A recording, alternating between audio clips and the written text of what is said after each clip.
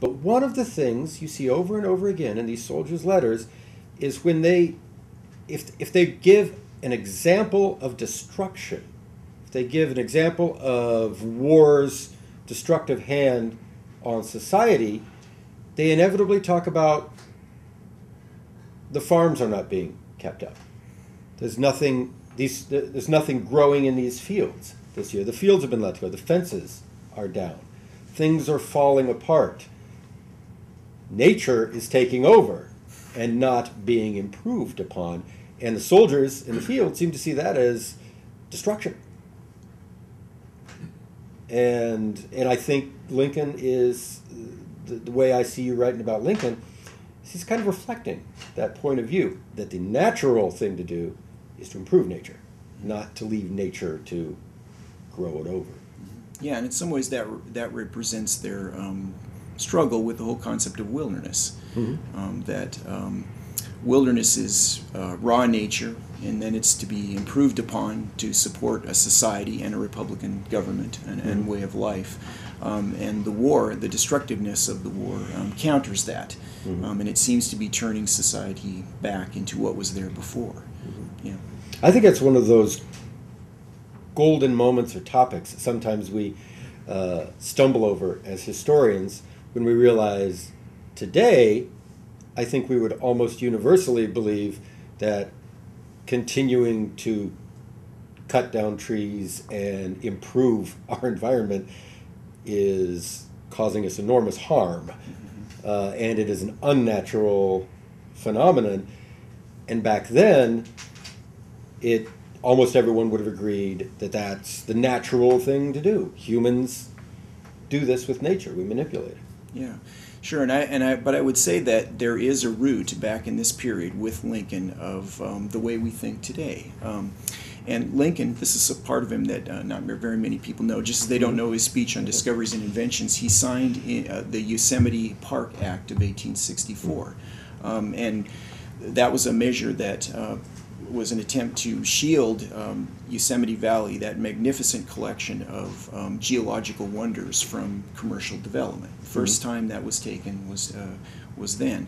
Um, so I think you can see a little bit of it there. Mm-hmm. Um, what I think is very interesting, I would say that um, the Emancipation Proclamation itself was the first attempt to shield a part of nature from the excesses of the commercial market. Ah. Um, it's just that it was human nature. Mm-hmm. I think the same impetus that led Lincoln to issue that um, also led him to um, sign the Yosemite Park Act. Mm-hmm. Um, same thing, shielding part of the, the physical world, some substance in it from the excesses of commercialism. Mm-hmm. And if personal improvement is natural, then it follows that nothing is more unnatural than slavery.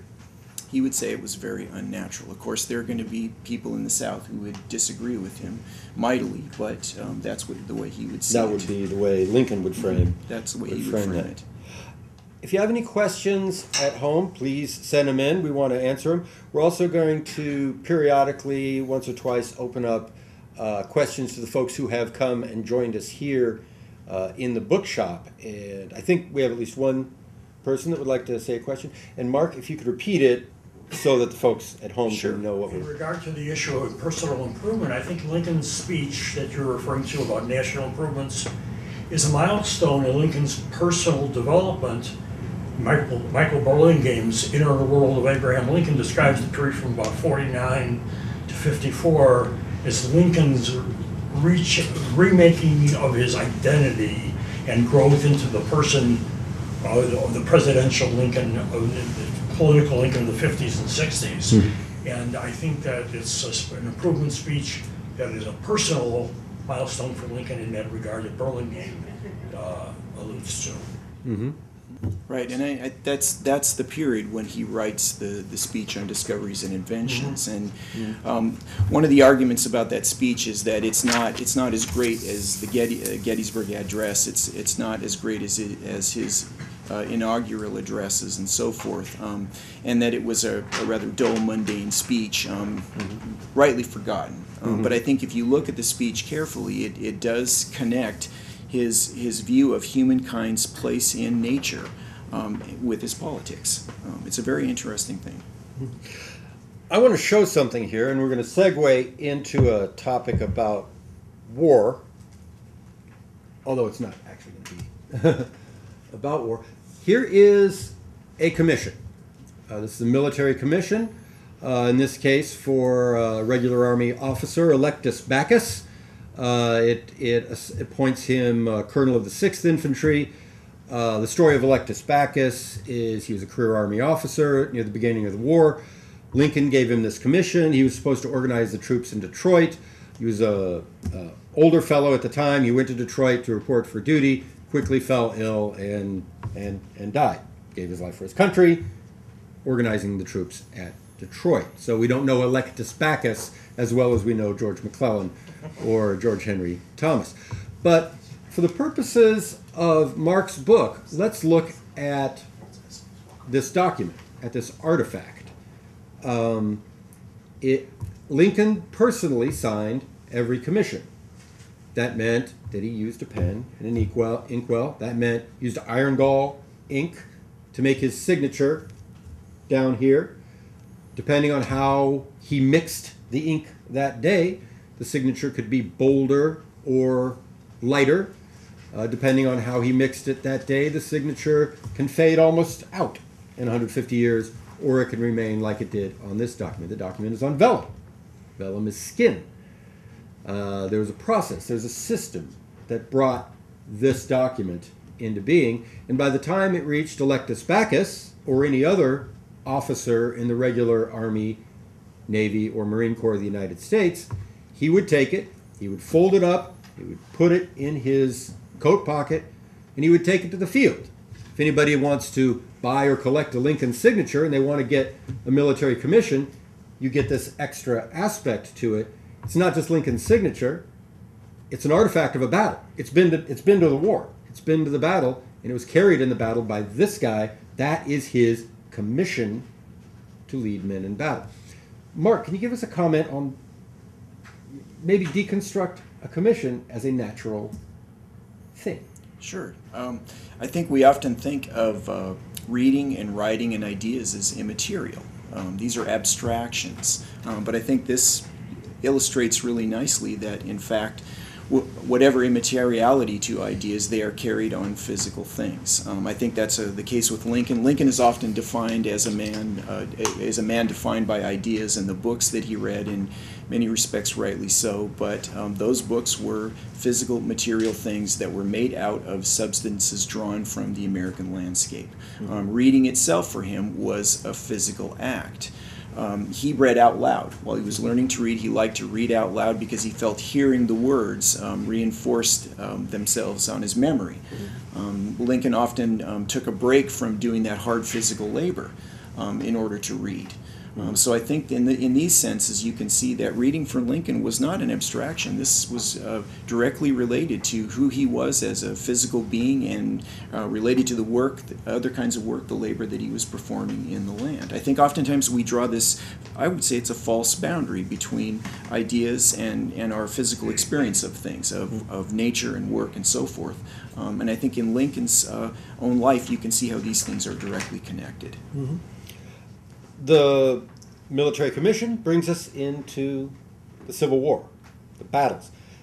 Your chapter that touches on the Civil War talks about the Battle of Gettysburg. Uh, and I loved that chapter. We're not going to even have enough time. I could spend the entire hour on your ideas about the effect of the Battle of Gettysburg on nature and nature's effect on the Battle of Gettysburg. Uh, can you summarize that? And then maybe we'll talk in, uh, about another couple more Gettysburg topics. Yeah, sure. Um, when I when I researched this chapter, um, I, I found it very interesting that um, in many ways, the, the reasons for the battle, um, if not the war itself, had a lot to do with the condition of landscape, um, the need of armies for resources drawn from landscape. Um, a lot of this had to do with um, diseases and shortages that uh, the, the Army of Northern Virginia was experiencing. Um, and a lot of this prompted Lee to take the army north um, into Pennsylvania. And um, when uh, Kent Brown's book, for example, yes. which um, discusses um, the astonishing number of um, head of livestock um, that the Army of Northern Virginia extracted from Pennsylvania and sent down south. I think that just is a real graphic example um, of how this was um, not just a story of two armies maneuvering against each other, trying one trying to defeat the other, but it had a lot to do with um, armies as organic entities, the need for food, the need for energy, the need for uh, horsepower, and so forth. Yeah, we were talking before about uh, military historians seem to understand, but maybe sometimes they struggle with finding the right language to get people to understand that uh, an army is an organism that whose purpose is to take in energy, translate it into something else, and then project it as military energy. Um, and I think they do that in order to try to get people to understand the concepts of, of logistics and supply and so on and so forth. But I think we also need to understand it, as you point out uh, very well, from a natural and environmental point of view. The Battle of Gettysburg is a horrific translation of natural energy into armies, thus into military power, and then again, sadly, into organic matter, which continues to affect humans. Well, I think there's any number of ways you can you can consider this. For me, one of the really interesting things is if you look at Lee and the Army of Northern Virginia. Lee is very good at um, maneuvering his army.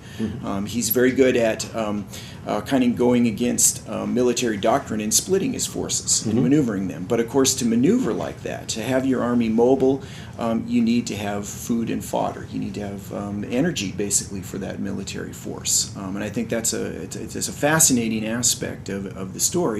Um, the fact that um, uh, by 1862, 1863, the, uh, his horse herds are diminishing. Um, by the spring of 1863, they're running out of food. Um, they're even suffering the, uh, from malnourishment. Um, it's these kind of things that begin to orient his mind toward the possibilities of the North. Um, another dimension of this, for example, is the classic story of how the battle begins. You've got a battalion of North Carolina sol- soldiers going down the road toward Gettysburg. What are they looking for? They're looking for shoes. Um, so there, the, the fact that they, they were short of um, leather. Um, And that has a whole interesting backstory to it about um, deprivation and destruction in the environment. Partly short of leather because it's short of livestock. Yeah. And then that creates leather.